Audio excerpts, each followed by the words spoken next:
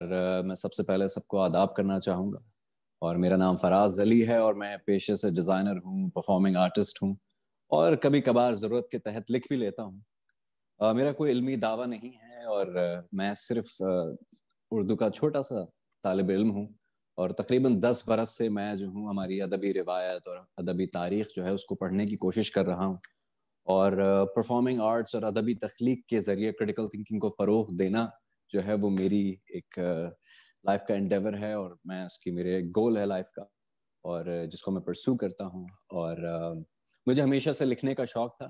तो मेरे एक दोस्त के वालिद हैं, उन्होंने मुझे कहा कि, बेटा एक बात याद रखना कि अपना फन पेश करने से पहले उस फन के अकायद पर अजबर होना लाजिम है। इसलिए जिसके लिए जेर तालीम होना ज़रूरी है और आई एक्चुअली और इसलिए जेर ज़बर पेश जो है, वो मेरे जेर ज़बर पेश की मुताबिकत जो है, वो मेरे तरीक़ा कार के लिए तमसील बन गई। और मैं आज के सेशन में जाता हूँ बड़े बुज़ुर्गों से माजरत के साथ कि मेरी इस आज के जो मौजू है, उसके लिए जो मंतखब आशार हैं, वो बड़े बड़े मशहूर ज़माना है, ताकि मेरी बात उन तक, उन सब तक पहुँच सके, जो अभी जिनकी अदब में दिलचस्पी जो है, वो नौ उमरी के मराहल तय कर रही है। तो मैं आज शुरू करना चाहूँगा कि अलामा इकबाल के एक मिसरे से जो असरार खुदी में है कि ज़िंदगी दर जुस्तजू पोशीदा अस्त, असले उ दर आरज़ू पोशीदा अस्त। Life is hidden in quest and its reality in desire ज़िंदगी की जुस्तजू में एक इल्म की तलब हम इसलिए भी हासिल करते इल्म इल्म की तलब हमें इसलिए भी होती है कि हम अपने इर्द गिर्द की जो दुनिया है, उसकी सेंस बना सकें and we make sense of the world around us और उसमें एक हज़रत अली का एक नहजुल बलागा से कोट है जो मुझे बहुत मुतासर करता है। वो कहते हैं कि, वमन अपसरा बेहा बसरत हु कि जिसने दुनिया से देखा, उसे बसीरत, यानी इंसाइट अता हुई। वमन अपसरा इलेहा आमद हु जिसने दुनिया को देखा, वो अंधा हो गया। और बसीरत जो है उसके लिए तखयल यानी इमेजिनेशन और तजस्स दोनों दरकार हैं। और शायरी जो है मेरे नज़रिए में वो आ, आपकी जो तखयल है आप उस, उसको जो है वो चैलेंज भी करती है उसको टेस्ट भी करती है साथ साथ आपकी जो तजस्स है उसकी परवरिश करती है इट इट कल्टिवेट्स क्यूरियोसिटी और पढ़ने वालों के तखयल में शायरों के कलाम को एक वसी और गहरी रसाई हासिल है एक्सेस हासिल है। नसीर तुराबी कहते हैं कि अजीब होती हैं ये। राह सुखन भी देख नसीर, वहाँ भी आ गए आखिर जहाँ रसाई न थी। एक जरखेज तखयल जो है, बहुत बड़ी दौलत है और हमें इस्तदाद दी गई है कैपेबिलिटी दी गई है कि हम उसका लामहदूद इस्तेमाल कर सकें। और इसकी मिसाल जो है, मुझे एक बड़ी, एक इंटरेस्टिंग एक सूर्य रहमान की आयत है। रब्बुल मशरक़ैन व रब्बुल मगरबैन। That he is the lord of two east and two west. Mashrak जो है वो हमारा ईस्ट है, मगरब जो है वो वेस्ट है। और अरबी में मशरकैन is to east and मगरबैन is to west and it's a very strange expression जिसको आप इमेजिनेशन के बगैर नहीं समझ सकते। तो मैं आप लोग को कुछ डेमोन्स्ट्रेट करना चाहूँगा just to actually like engage and and see के इमेजिनेशन हमारी किस तरह जो है इमेजिनेशन काम कर भी रही है या नहीं कर रही। सो जस्ट इमेजिन कि हम जहाँ मौजूद हैं ये कोऑर्डिनेट है। एंड uh, इस कोऑर्डिनेट में जो है वो uh, मेरा जो लेफ़्ट है वो वेस्ट है and east is right no pun intended और uh, जब मैं अक्रॉस एक्स एक्सिस जो है ट्रैवल करता करता करता करता करता ईस्टर्न हेमस्फेयर से वेस्टर्न हेमस्फेयर में दाखिल होता हूँ तो मेरे ईस्ट और वेस्ट जो हैं वो उल्टे हो जाते हैं। सो इट कैन शोज़ के दुनिया में लाइक ऑन इन स्फीयर एक जो भी पॉइंट होता है उसके अक्रॉस द ग्लोब दो ईस्ट और दो वेस्ट होते हैं। और यही कुत तखयल है कि हम अपनी ज़ात से बाहर निकल कर मुशाह कर सकते हैं और चीज़ों को बेहतर समझ सकते हैं। आर नो कि इसको इसको इस, इस समझने का और कोई तरीका है आपको जियोग्राफी की और डिटेल नॉलेज हो। और जो इंटरेस्टिंग बात मुझे लगती है वो यही लगती है कि हम physically we are bound but in terms of imagination we are really really really हमें बहुत आज़ादी है। और मुझे यहाँ पर सनाउल्ला दार मीरा जी का एक शेर याद आ रहा है। कि चाँद सितारे, कैद हैं सारे वक्त के बंदी खाने में। लेकिन मैं आज़ाद हूँ साकी छोटे से पैमाने में। ये तमाम चाँद सितारे, तमाम जो सिस्टम, निज़ाम जो है, वो सब पाबंद हैं। हम भी फिजिकली पाबंद हैं, लेकिन हमें तखयल देकर थोड़ी सी आज़ादी दी हुई है। और बाल जबरील में अलामा इकबाल कहते हैं कि ना तू जमी के लिए है, ना आसमां के लिए। ये जहाँ है तेरे लिए, तू नहीं जहाँ के लिए। Which is like very very interesting और लेकिन अगर हम हकीकत को देखें और हमारी जो सोसाइटी है, हमारी जो दुनिया है, उसमें अफलास तखयल बहुत है पोवर्टी ऑफ़ इमेजिनेशन और मेरी नाकस राय में इमेजिनेशन का फुकतान जो है, वो हमारे माशरे का सबसे बड़ा अलमिया है। हमारे मफाद परस्त माशरे में और हमारे यहाँ ओवर सिंप्लीफाइड और रिडक्टिव ओपिनियंस और बिलीव जो हैं, वो लोगों के दिलो दिमाग में बैठे हुए हैं और हमें इनकी वजह से बहुत सारे मसाइल दरपेश हैं। मुझे एक वाक्य याद आता है कि तकरीबन दस साल पहले मैं एक शो डायरेक्ट कर रहा था। उसमें हम लोग अलामा इकबाल का शिकवा, जवाब शिकवा पेश कर रहे थे। तो जवाब शिकवा जो है, वो खुदा की तरफ़ से जवाब है और उसके लिए जब हम लोग ऑडिशंस कर रहे थे तो किसी ने कहा कि भाई हमें ऐसा कोई कैरेक्टर चाहिए, कोई ऐसा बंदा चाहिए जिसकी आवाज़ में घन गरज हो और भारी और डीप मर्दाना, बेस आवाज़ वाली आवाज़ हो। मुझे इस बात से काफ़ी इख्तलाफ था। तो हमने जब ऑडिशंस किए तो हमें एक खातून मिली जो हमारे सारे क्राइटेरियाज पर पूरी उतरती थी परफॉर्मिंग आर्ट्स के तो हमने उनसे परफॉर्म कराया और उन्होंने जवाब शिकवा पेश किया। और जब उन्होंने बेसिकली परफॉर्मेंस की परफॉर्मेंस के बाद जो है, वो बहुत सारे लोगों को उस पर एतराज़ हुआ। और काफ़ी कुछ लोगों ने हम लोग को जो है काफ़ी परेशान किया और इंतज़ामिया भी घबरा गई। लेकिन तो वहाँ पे मसला ये था कि कुछ हजरात थे जिनके लिए खुदा का मर्दाना तस्वुर जो है वो काबिल कबूल था, लेकिन जनाना तस्वुर जो है वो काबिल बर्दाश्त नहीं था। हालाँकि हम इंटरेस्टिंगली कि हम उस माशरे में रहते हैं जहाँ हमें बताया जाता है कि बार बार बताया जाता है कि खुदा हमें सत्तर माओ से ज़्यादा प्यार करता है। तो और एट दैट पॉइंट कि हम तो हकूक नस्वा के लिए भी हमारा कोई स्टैंड नहीं था फॉर दैट परफॉर्मेंस लेकिन बाद में हमें एहसास हुआ कि शायद हमने उनके खुदा के एक पेट्रियार्कल तस्वुर की बुत शिकनी कर दी। और इसलिए जो है वो ये बात उन पर नागवार गुजरी। तो अगर मैं उसको थोड़ा सा like if I take it further और मैं अदब के बारे में बात करूँ कि अदब जो है वो हमें सोचने का सलीका सिखाता है, जहन साजी करता है, मिजाज साजी करता है, हमें हमारे क्रिटिकल थिंकिंग के लिए हमारी टेम्परमेंट डेवलप करता है। It develops sensibilities which allows us to see beyond sensations and perceptions मुझे यहाँ पर अलाम इकबाल का एक मिसरा है। एक शेर का एक, एक बड़े मशहूर शेर का मिसरा है वो मैं दोहराना चाहूँगा कि कभी ए हकीकत मुंतजर नज़र आ लिबास मजाज में। ओ अवेटेड रियलिटी लाइक हकीकत मुंतजर यानी डिवाइन रियलिटी या ओ अवेटेड रियलिटी नज़र आ manifest in the cloak of metaphor नज़र आ लिबास मजाज में। यहाँ पे गौर करने की बात यह है कि वो ये नहीं कह रहे कि ज़ाहिर हो जा, यानी सामने it's like he is actually saying कि क्लोक ऑफ़ मेटाफर में आ। और मेटाफर्स जो हैं metaphors are implied comparisons Allama चाहते हैं कि खुदा का पर्दा भी रहे और उनकी हसरत भी पूरी हो जाए और ऐसा मुमकिन सिर्फ़ तखयल में है इमेजिनेशन में है। क्योंकि फ़िज़िकल मैनिफेस्टेशन जो है, वो बड़ी हकीर होती हैं। अगर हम देखें हमारी फ़िज़िकल वर्ल्ड में, जो रैशनल लॉजिक्स में जो है, जो रैशनल लॉजिक में ताजादात जो है कॉन्ट्रडिक्शन की कोई गुंजाइश नहीं होती और ये फ़िज़िकल वर्ल्ड की एक्सटेंट है। लेकिन कॉन्ट्रडिक्शन जो है पोइट्री में is like it's it's beautiful art is full of contradictions जैसे मौसीकी में हम लोग दो अपोजिंग नोट्स लगाते हैं, सही और वो साइमल्टेनियसली ट्रैवल करके जो है, वो हारमोनी क्रिएट करते हैं। तो कॉन्ट्रडिक्शंस आर आर ब्यूटिफुल जो फन में फन में खुला तजाद होता है, अगर मैं उसको ह्यूमर के साथ कहना चाहूँ। इसलिए world of imagination can be lot more potent than the world of the physical manifestation ये फ़िज़िकल फॉर्म्स और हमारी ज़ात जो है, वो दो रेल्स में ऑपरेट करती है, आलम वजूद, यानी द फ़िज़िकल वर्ल्ड एंड आलम तखयल the imaginary world and the world of imagination and these two realms are always in correspondence with each other and that's exactly how we make sense of the world अगर मैं उसको आसान अल्फाज में समझाने की कोशिश करूँ कि हमारे पास सर्कल स्क्वायर ट्राइंगल जैसी आइडियल फॉर्म्स एग्जिस्ट करती हैं, जिसके बेसिस के ऊपर, जिससे सेंस बनाकर हम अपने इर्द गिर्द की फ़िज़िकल दुनिया बिल्ड करते हैं। हम टू डी ड्रॉइंग से थ्री डायमेंशनल वर्ल्ड कंस्ट्रक्ट करते हैं। बिल्कुल इसी तरह आलम तखयल में हमारे पास आइडियल वर्चूज हैं, जैसे कि इश्क, हुसन, इल्म, हक मसरत बहादुरी। और आलम वजूद में हम इनकी परसूट में जो है, इनके इनके ताकुब में जो है रहते हैं। जैसे the pursuit of love the pursuit of truth the pursuit of happiness और जहाँ पर मैं यहाँ पे इन दो रेल्म्स की कॉरस्पॉन्डेंस की बात करता हूँ तो एक शेर है जो बहुत सारे लोगों को बड़ा परेशान करता है। एंड आई थिंक ये जो कॉरस्पॉन्डेंस है, जो है ये ये काफ़ी सारे जो इंटरेस्टिंग एस्पेक्ट्स हैं उनको अनवेल करती है। ये फैज साहब का एक शेर है कि इश्क दिल में रहे तो रुसवा हो ज़ुबान पर आए तो राज हो जाए।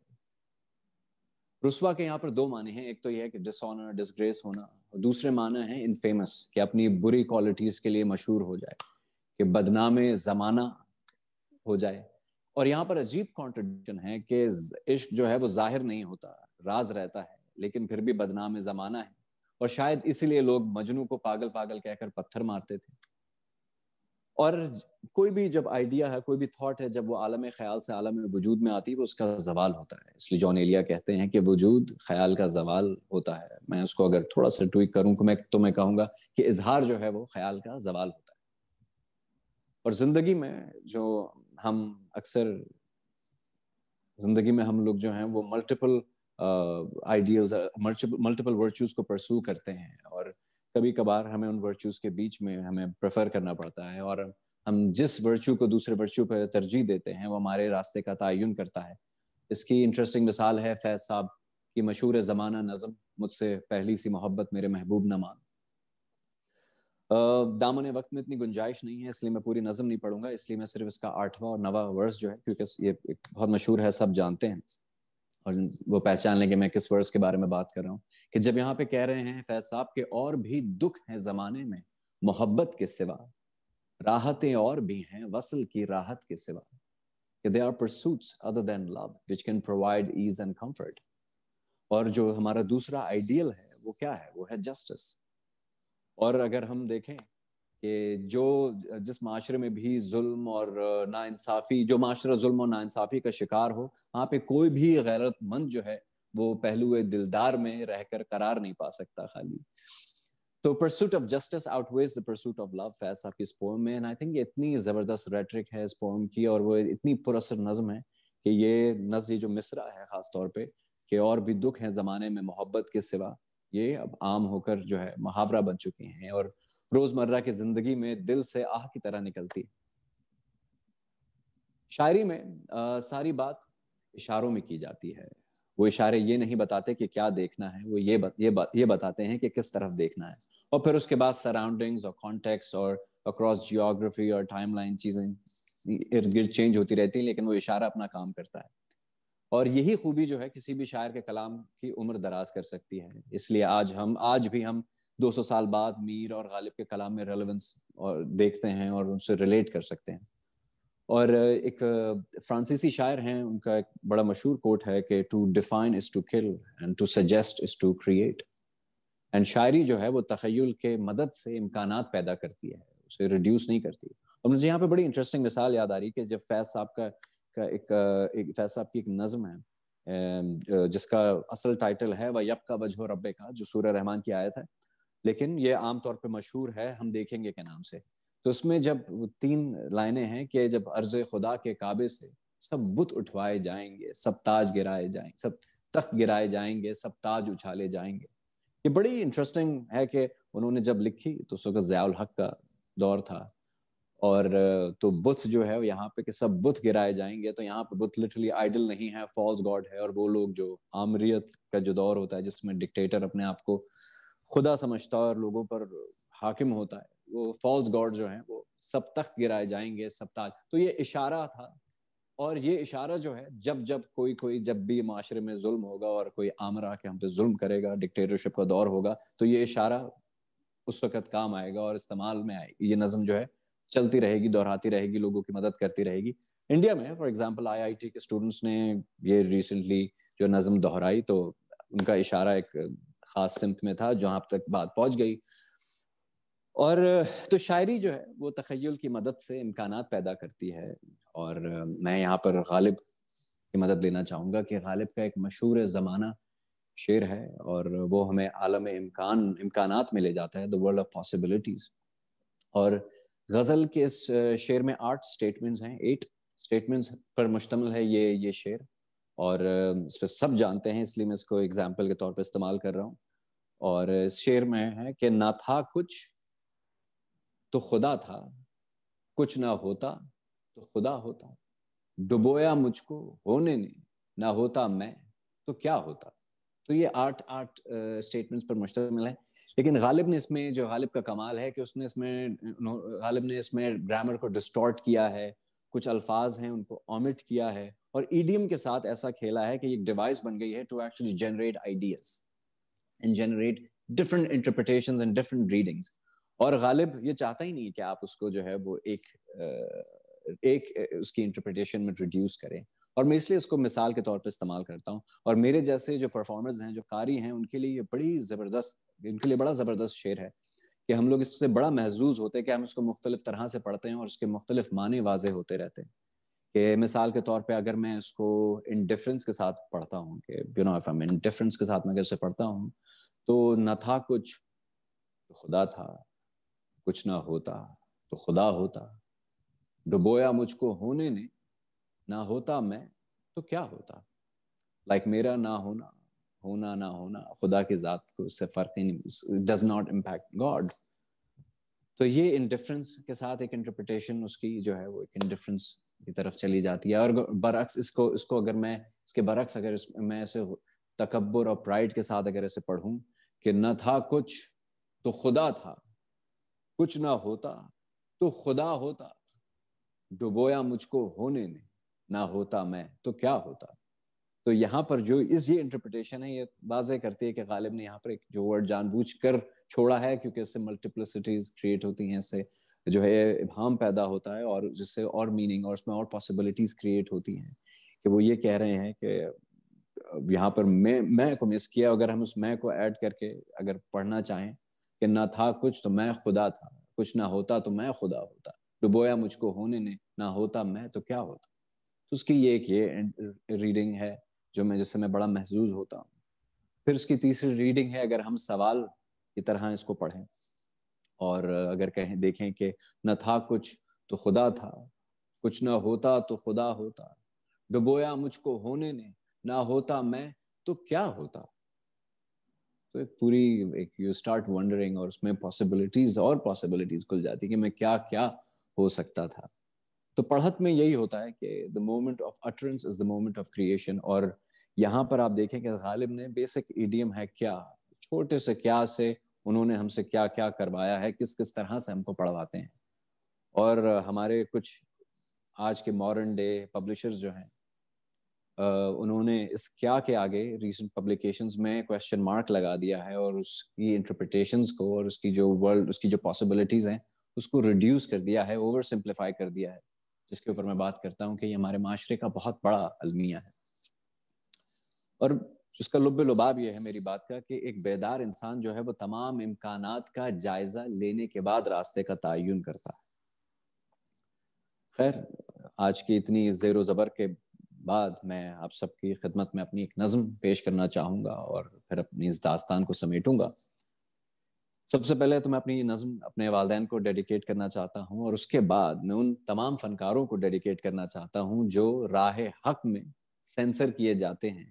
और उनके काम के आगे भी कोई ना कोई जो अहमक है, वो क्वेश्चन मार्क लगा देता है। इस नज़म का उनवान है आइकोनोक्लास्ट बुद्ध शिकन और इट गोज लाइक दिस इस सनम कदाए कायनात में हर सिमत है रूबरू।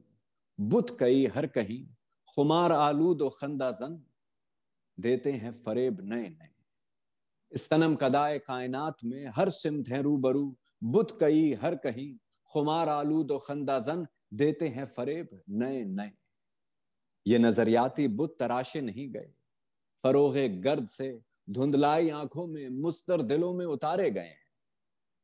ये बुत हैं अना के, जो पिदर शाही निज़ाम के विरसों को बना के ढाल देते हैं फरेब गैरत के। ये बुत हैं तासुब के, जो मिंबर के शानों से तफरीक का परचम बुलंद किए देते हैं फरेब अफजलियत के। ये बुत हैं हिरस के, जो सरमायादारी के जाल बुन के अहले हुनर को उलझा के मकरूज रखते हैं, देते हैं फरेब मुस्तकबिल के। ये बुत हैं इकतदार के, जो तवाजुन को बदउनवानियों में झोंक कर अहले फ़िक्र को उलझा के मक... अहले फ़िक्र को नातवा रखते हैं, देते हैं फरेब जमहूरियत के। ये बुत हैं हवस के, जो इंतहाई शौक में आबरू हुनर से खेलते हैं, शोहरत की गुस्ताख राहों में देते हैं फरेब नेक साथ के, इस सनम कदाए कायनात में, कदम कदम पर इस्तादा हायल हर राह में है बुतौर भी। खुमार आलूद खंदा जन, करते हैं मकर नए नए। ये फितनागर रहते हैं कहीं आस्तीनों में तो कहीं सीनों में बसते हैं। ये बातिल के पैकर लरसते हैं ज़िक्र अहले फ़िक्र हुनर से। ये डरते हैं सदाए हक से, ये बिखरते हैं मौजाए फन से। अहले फन जो राह हक से हम किनारे हैं। रसाई है उनको खाना दिल की। खोलते हैं कुफल हरफ सादिक से।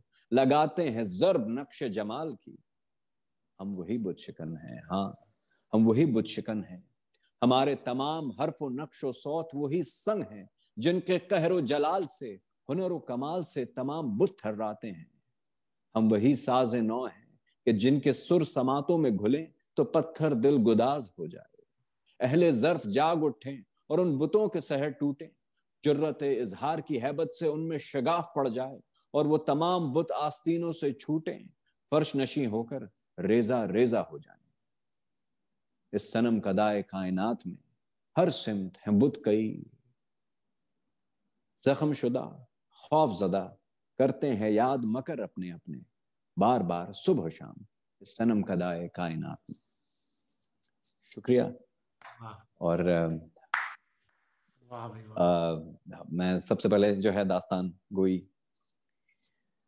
का शुक्रिया अदा करना चाहूँगा। प्लेटफॉर्म का माद का वलीहा का बाकी सबका और आप सबकी समात का क्या आप लोग ने जो है वो नज़म और मेरी दास्तान सुनी। और किसी तरह की कोई कोई बात से मेरी कोई बात किसी पर गिरा गुजरी हो तो मैं उसके लिए माजरत ख्वाह हूँ।